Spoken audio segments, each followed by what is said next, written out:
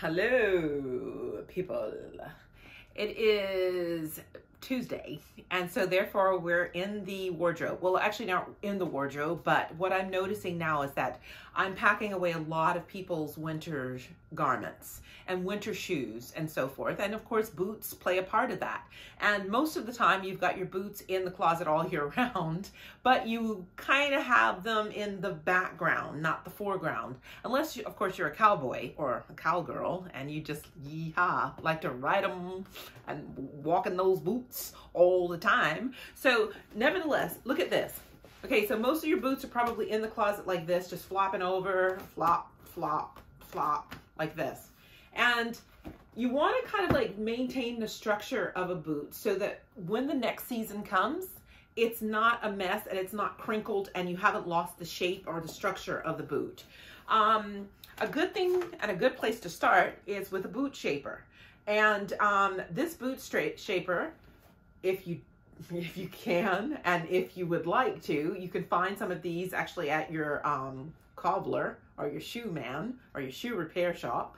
Um, they have these in there and you'll notice that they have little finger rings for you to pull the boots up with. So like say for instance we put this in this floppy boot put it in like this and you can see how it is so structured and it stays up straight and this is actually very good for storage um, and then of course you just pull it out.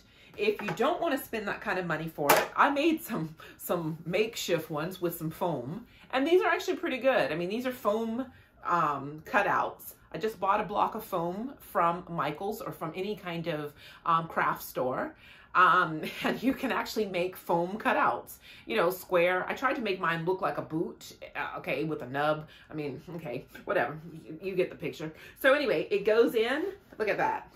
Fabulous. Fat. It doesn't even come out. Look at that. Oh, perfect. Look at that. Perfect. So this is good.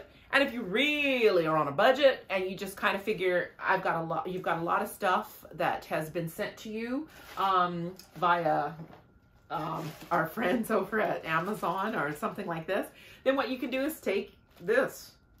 This is, or any other kind of paper that you've actually got, roll it up, and look, this works just as well. Stick it in, and you see that? It works just as good.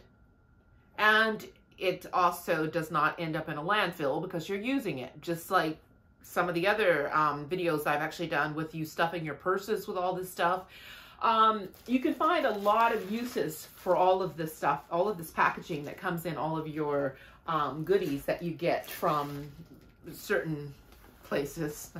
I was told that I can't say places that aren't being environmentally friendly, although they're trying. I know that I wrote enough letters and they were actually sending me my stuff without all the packaging and with biodegradable packaging. So it was actually good. And then for people that with short boots, you might think that short boots don't wiggle and waggle a lot because they're too short. Well, they do, and they can actually lose their shape and their structure too. Of course, you're not going to try to uh, to put this big tall foam in it, but you will actually, um, you can cut the foam because you're buying it at a craft shop. So you can buy them however big or small you want and cut a little piece and put in here. Or once again, look at all this stuff. This comes in handy. So you just simply stuff your short boot with it too. And this works just as good.